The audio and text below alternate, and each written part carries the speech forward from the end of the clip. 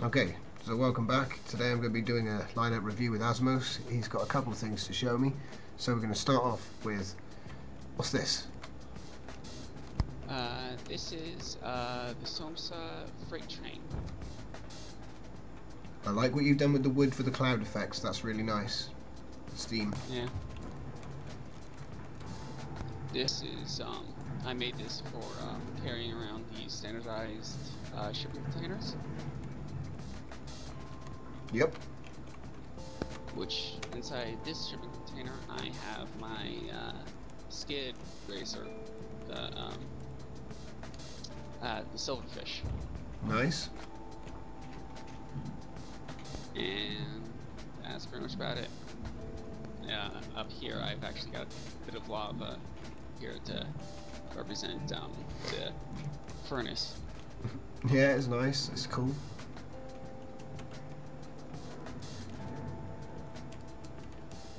That's pretty much it. Interesting. Okay, and then you said that this might go down to you saying this could be a train as well. The actual canister for the track. Oh, um, yeah, the um, no, the canister, uh, the canister is just uh, a standardized shipping container. I was thinking, Tom, it for some reason teleported me to the bottom of the sector.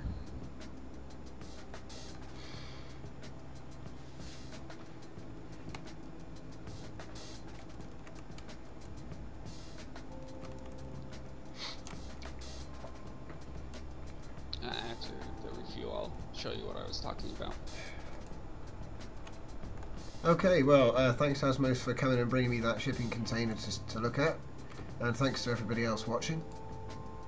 So uh, yeah, I'll see you in the next review, which is going to be this ship next, which looks pretty The good. shipping container is a separate entity.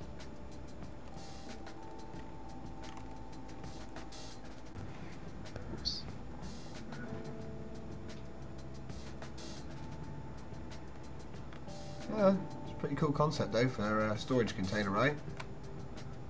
Yeah, no, I didn't come with a storage container. I just came up with a train.